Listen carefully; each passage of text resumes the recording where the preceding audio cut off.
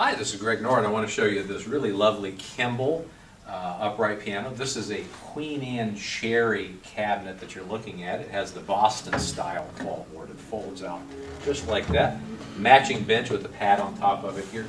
And it's really just a lovely cabinet that you're looking at right there. Great piece of furniture.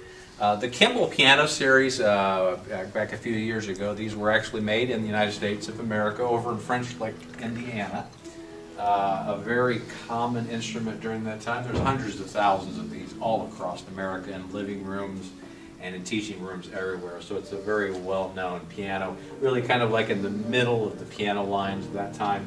And so it really produced a really good quality instrument, uh, and these are fantastic. If you're interested in this particular one, you can call us at the 800 number that's at the top of the web page you're on right now, or go to our home page and go all the way to the bottom. You'll find our email address if you prefer to email us.